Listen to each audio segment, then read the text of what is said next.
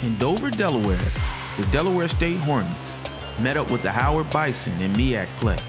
Both teams coming off a tough loss on their respective homecomings.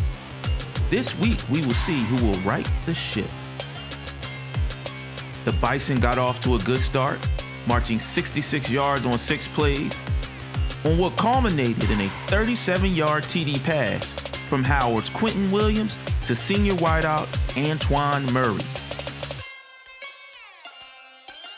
Delaware wasted little time hopping on the board.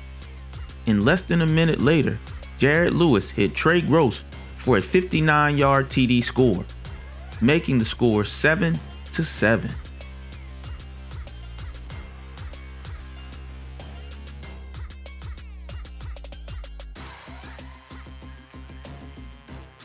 The Hornets kept their foot on the gas in the second quarter with a 15 yard TD strike to Bizette Woodley from Lewis.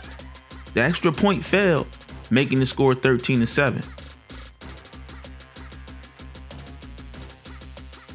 Later, Howard put together a nice drive, 70 yards and 12 plays, but it stalled and had to settle for a Faraje Woodson 43 yard field goal, bringing the Bison closer 13 to 10.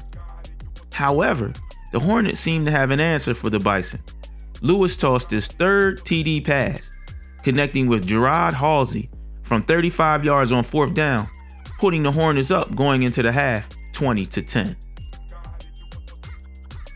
In the third quarter, with a Bison touchdown and both teams exchanging field goals, the score was now 23 to 17.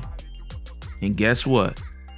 Howard handed the ball to Mr. Big Play Ian Wheeler, who showed us his big play ability, bursting through the Hornets defense, and 65 yards later, the Bisons were back on the board.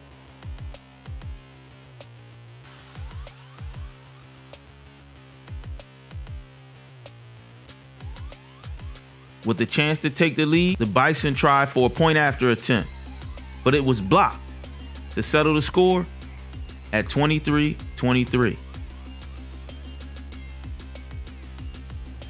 Lewis and Gross hooked up again, this time for 14 yards, to put the Hornets back on top 30 to 23. The Bison had one more chance to tie the game, but the Hornet defense sealed the deal, breaking up a pass in the end zone.